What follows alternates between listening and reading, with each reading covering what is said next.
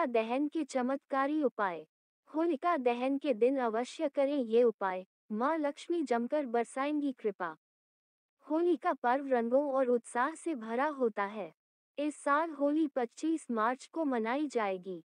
24 मार्च को होलिका दहन मनाया जाएगा।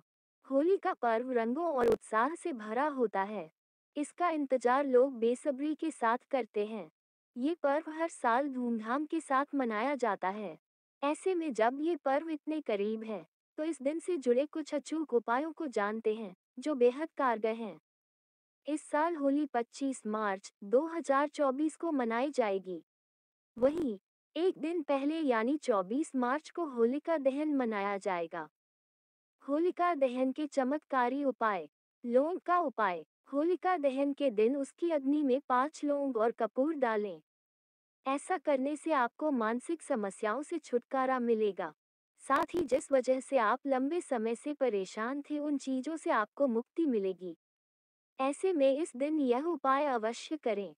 सूखे नारियल का उपाय, होलिका दहन के दिन अपने ऊपर से सूखे नारियल को सात बार घुमाएँ और उसे अग्नि में डाल दें। इस उपाय को करने से आपकी सभी नकारात्मकता समाप्त हो जाएगी। साथ ही आपके जीवन से मुश्किलों का अंत होगा। माँ लक्ष्मी की विशेष पूजा। होलिका दहन के दिन धन की देवी माता लक्ष्मी की पूजा का विशेष महत्व है। ऐसे में सुबह उठकर देवी लक्ष्मी की पूजा विधिपूर्वक करें। इसके बाद ब्राह्मणों को भोजन कराएँ और उन्हें दक्षिणा दें। असहाय लोगों की मदद अवश्य करें। ऐसा करने से आपकी आर्थिक मुश्किलें समाप्त हो जाएँगी। साथ ही घर में बरकत बनी रहेगी।